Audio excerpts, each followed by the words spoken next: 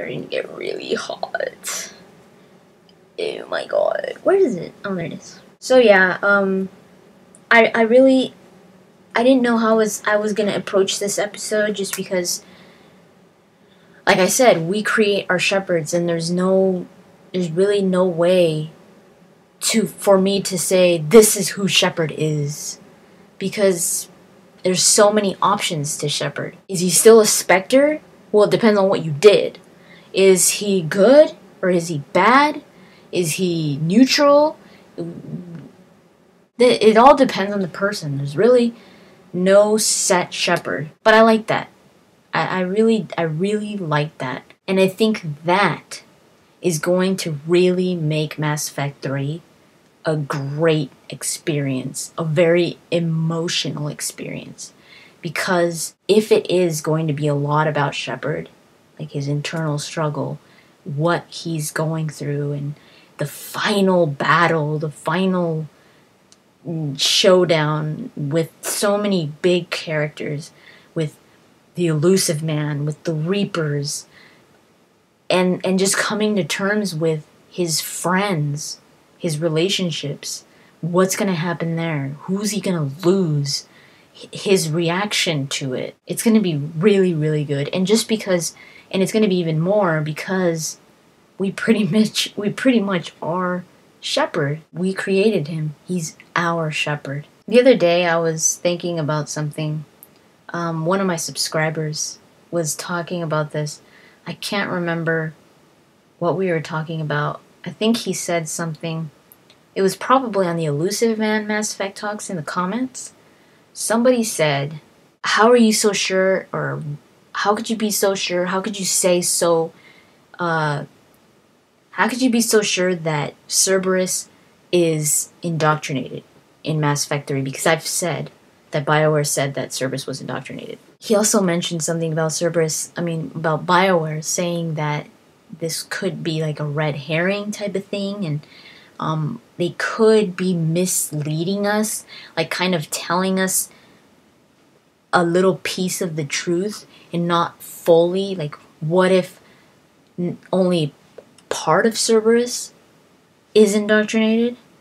Or because the way that we know that Cerberus is indoctrinated is because in the demo, Shepard says, um, because Cerberus, because they're indoctrinated when they're talking about Cerberus.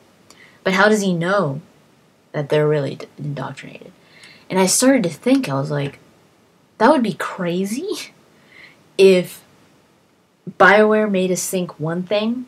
They're not lying to us. They're just giving us a little pieces little pieces of information and we're putting it all together because that's what we do. Um, and we're we're saying we're coming up with theories and it's almost like we're believing them. And I think what if BioWare is actually making us believe one thing with the little pieces of information that they're giving us. And then when we play the game, it's going to completely turn it on its head and like everybody's going to be like like completely didn't like they didn't even expect it. I was like, "Oh my god. What if the Illusive Man has been the good guy all along? Like what if he's not indoctrinated? What if he really truly is fighting for humanity? And fighting against the Reapers. What if he knows that Shepard is a danger? That if Shepard gets taken by the Reapers, he's going to be used as the worst weapon. And he's like, take Shepard out no matter what. Because he's like, he, he is the worst weapon that the Reapers could have so what if that's why they're going after Shepard? To, to save humanity, to prevent that from happening. I was like, whoa, wait.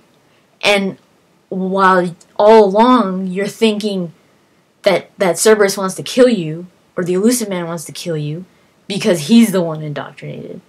But what if it's the other way around? What if Shepard is going to become indoctrinated and the, Illusive Man wants to stop that?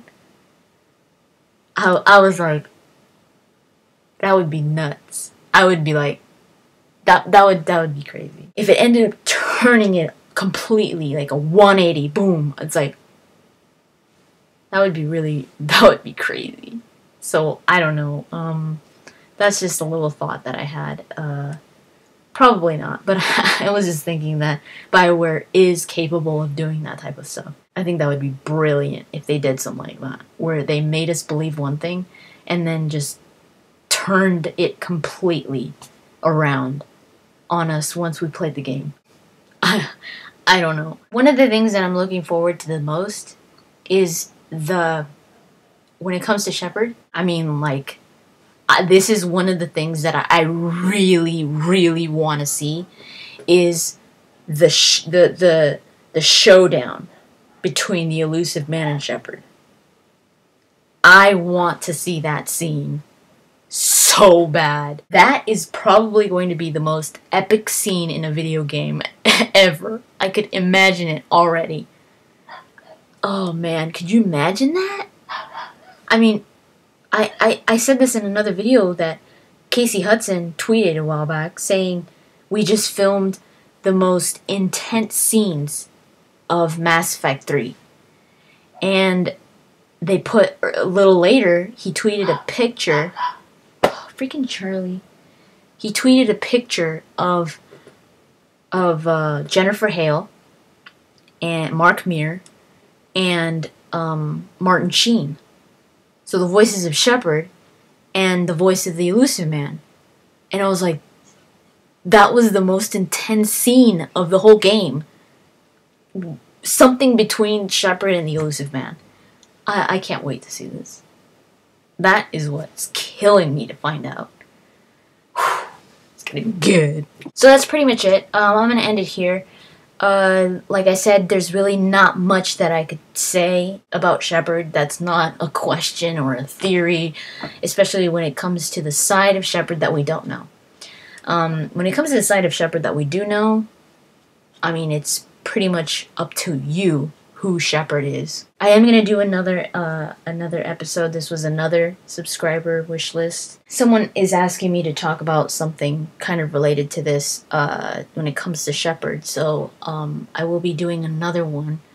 Another. It's not going to be a Mass Effect talks. It's just going to be another video where I talk about uh, where I talk about Shepard. So look forward to that. It's going to be where I pretty much talk about my Shepard.